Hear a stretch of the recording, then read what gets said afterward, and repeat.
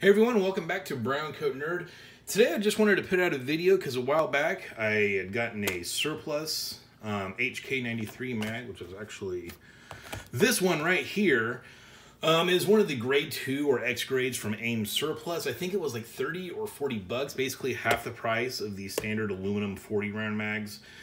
Um, when I got it, it was pretty grimy. I mean, it did not look like this at all. It actually cleaned up really well. I'm very happy with it. Um, but I looked on YouTube and I cannot find a single video of um, taking these magazines apart.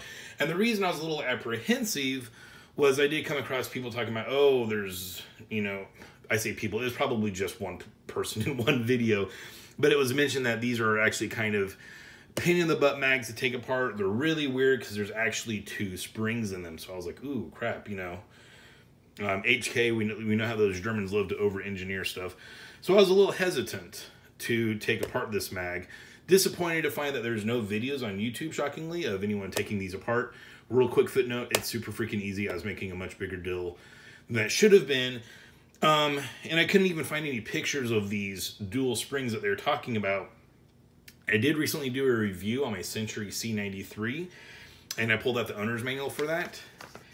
And, uh, well, I guess I should have done that when I got the mag, because right here on page 8, it shows what we're working with, and as you can see, nothing too special there. But since there's not a video of it out there anywhere on the uh, Facebook, I figured I'd show you guys real quick how to take apart one of these um, aluminum 40 round mags, and I imagine this will apply towards their 30 and 25 round mags as well. Um, it's very easy. It's nothing to be intimidated by. This one, as you can see, cleaned up really nice. I cannot believe I paid, pretty sure it was 40 I can't believe I paid 40 bucks. It's got the cool stenciling on there. Um, it's actually in better looking shape than the one I got with the C93. This one's got a little more wear on it. So, the original one that came with the gun, I never cleaned it up because as you can see, it doesn't look too terribly dirty. This one, not that it matters, is from 1-6 of 1976. Um, but as you can see, you just got a little button on the bottom. Grab your punch or whatever. Push in. Ooh, yeah, we got some griminess.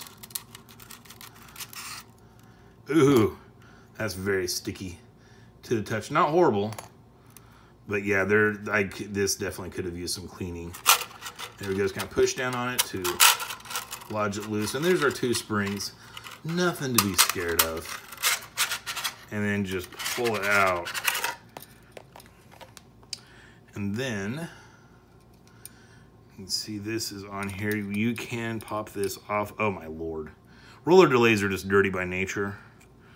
Um, then on top of the fact that I never cleaned this mag, I didn't grab my stinking knife. So, I still have my HK bayonet from my review, and the tip of this is already bent a little. So, let's use that to pop that off. Voila.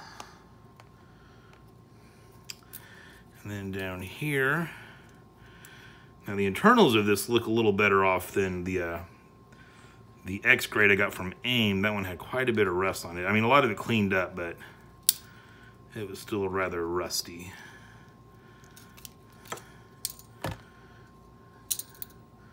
Slide that spring off. And we got this little tabby do here. Pop that off. I'm gonna throw this all in my ultrasonic cleaner.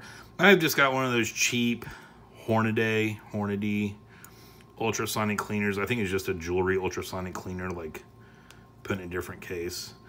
Um, so I'm not sure which one's cheaper. If you can find a cheap, you know, jewelry cleaner, it might be a little bit cheaper just simply because it won't have that Hornady name on there. Oh, guy, you need to get out of my way.